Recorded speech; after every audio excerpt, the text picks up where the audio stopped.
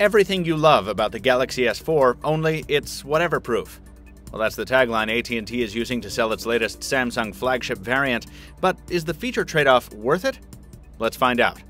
I'm Michael Fisher, this is Pocketnow, and this is our video review of the Samsung Galaxy S4 Active. When Samsung's flagship Galaxy S4 debuted earlier this year, it premiered to reviews which were overall positive, but not perfect. We loved the powerful hardware under the hood and the large 13 megapixel sensor on its camera, but we weren't quite as taken with the software gimmicks or the glossy, cheap feeling casing. With the Galaxy S4 Active, Samsung has fixed some of that in the quest to deliver a life proof version of its top selling smartphone, and in this video, we'll take a tour of the new device in hardware, software, and some test notes. Our unit is the Dive Blue version, a very exotic casing color that plays nicely with sunlight and wraps around almost all the way to the display, making the phone easy to spot.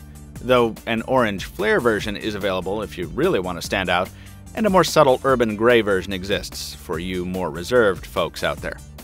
Regardless of color, though, you're still getting the faux ruggedized look of exposed corner screws and textured plastic crosshatching on the top and bottom, with springy, clicky buttons below the display that look like rubber but feel like plastic.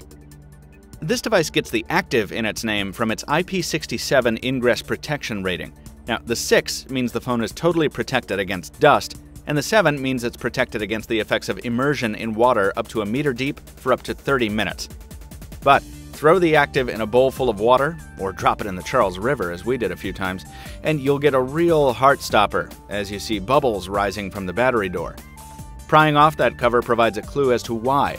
Only the vital heart of the device is protected, the zone including the battery, SIM, and microSD card slots and connection points. The rest of the internal volume is allowed to free flood, which doesn't seem to bother it as long as you make sure to close the USB cover and fully seal the battery door. An out of box sticker tells you that you need to press below the camera flash to seat that gasket, something that's not obvious by sight. We'd like to have seen more robust protection here, like a coin turned tightening screw. And it's probably a safe bet that a lot of people will miss that sticker warning and inadvertently flood their phone, something the warranty certainly doesn't go out of its way to cover. In the hand, the Active feels quite nice. At 153 grams, it's got a mild heft without feeling too heavy, and at 9.1 millimeters thick, it's well balanced enough to hold comfortably. The 5 inch display is fairly readable across most lighting conditions, and while you can tell it's an LCD by the bright gray blacks, it's still a 1080p 441 ppi panel, and as such, it's gorgeous. The 1.9 GHz Snapdragon 600 processor is familiar, as are the 2 gigs of RAM and 16 gigs of storage with microSD expandability, and 4G LTE support and the 2600 mAh battery are standard as well but the combination of these familiar elements results in a hotter running device here. The Active is not a phone that runs cool, so it's a good thing it's rated for the occasional dip in the sink or the swimming pool. Powering on the Active delivers few surprises. Samsung's TouchWiz skin is here in all its glory, bringing positives like utility toggles and a fleshed out UI to Android 4.2.2, and also negatives, like too many half baked features, something we talked extensively about in our Galaxy S4 coverage. That said, the Active does modify the software loadout in some pretty interesting ways. If you enable the torch function, the phone becomes the most convenient flashlight ever via a simple long press of the up volume key. This is something you'll use a lot more often than you think, and you'll start to wonder why it's not included by default on every phone. Fittingly, S Health is still preloaded for fitness aficionados, S Translator is here for travel buffs. And if you've got wet or gunked up hands and you don't feel like testing the Active's liquid resistance, some of the standard gestures remain for answering calls and the like. In normal use, you do need to get used to switching between the taps and swipes of the screen and the physical presses of the navigation buttons, but once you get past that, it's just like using a stock Galaxy S4. We tested the Galaxy S4 Active over the course of six days in the greater Boston area on AT&T, the exclusive launch carrier for this device. Coverage and speeds were excellent in and around the city, as we've come to expect from AT&T in Boston. While we engaged in more than our fair share of immersion fun out and about with this device, we didn't live as active a lifestyle as we might have with a truly rugged phone. It's important to make that distinction because IP67 is not mil spec, and the Galaxy S4 Active is not technically a rugged phone.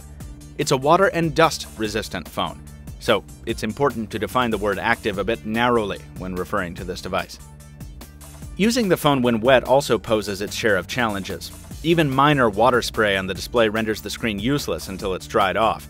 The physical keys don't really help with this either. On a modern Android phone, you really need the screen for anything and everything. And when the speaker gets wet, it loses more than half its amplitude until it dries off.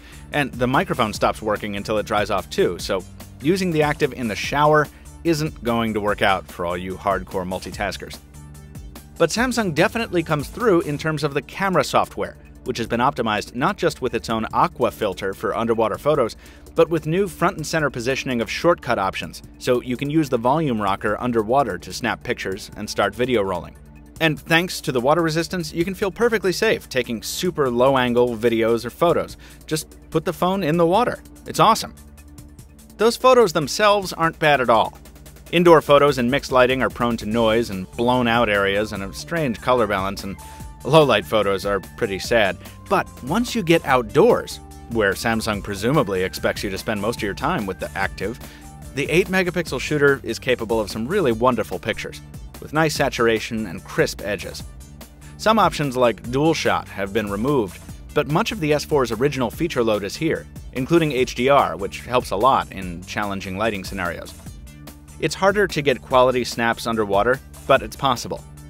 Video is probably your safer bet there, though, and above water, video is crisp and clear, with great color saturation and reasonably quick auto exposure, though autofocus is a little sluggish, as is the case on most phones. Now, the Galaxy S4 Active doesn't fare as well in phone calls. Even when dry, callers said we sounded just okay, and one caller said we sounded better on the five year old HTC Dream using the same network. On our end, call quality was average, and so was battery life. We were able to get through a full day of moderate use with the 2600 mAh battery, and Samsung earns a pat on the back here for including a removable power pack in a water-resistant phone. AT&T deserves credit for really getting the targeting of this device right in its advertising.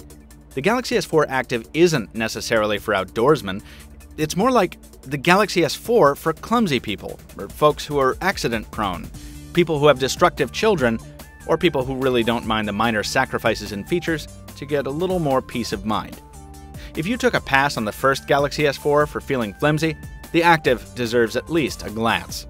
It gains points for its water and dust resistance, but loses a few for the camera downgrade and accident waiting to happen back cover, so the Galaxy S4 Active sticks with its stock S4 counterpart on the scoreboard. We give it an 8.8 out of 10. Folks, don't miss the rest of our coverage on the Galaxy S4 Active and every other smartphone and tablet we can get our hands on. Subscribe here on YouTube and visit us at pocketnow.com. But before you go, please drop us a like if you did enjoy the video. Leave us a comment if you have something to say. Follow us on social media where we do all of our talking. And thank you for watching. We'll see you next time.